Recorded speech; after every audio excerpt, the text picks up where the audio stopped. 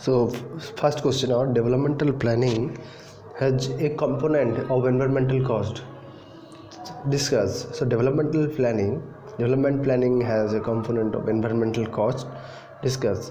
The concept of uh, development is changing over the years uh, from the growth that only focused on economic growth. So mainly development mainly changing over the years, and we know so it is mainly it is focused on the economic growth or planning, and planning is moving towards development, which was component of the sustainability also.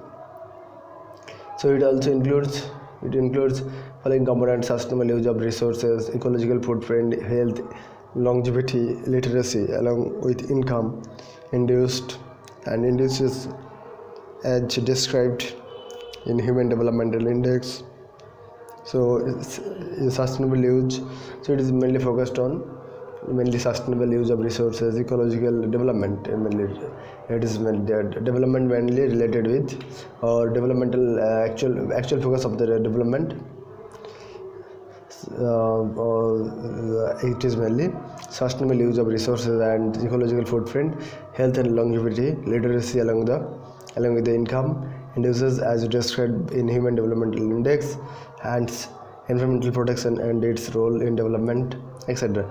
Thus, the developmental development planning takes into consideration consideration the needs of society and the natural environment when developing an area.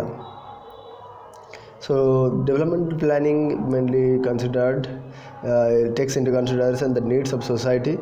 What are the actual needs of society? The natural environment when developing an area. This includes the process of evaluating how social, political, and economic governing factors affect the natural environment when considering considering development. So this includes the process of evaluating how social, political, economic, and governing factors affect the natural environment when considering development. The inclusion of environmental cost into developmental planning is a win-win situation for society and environment both. Examples include environmental impact assessment as a tool in the development planning. Also, CAMPA is a significant example in this re- regard.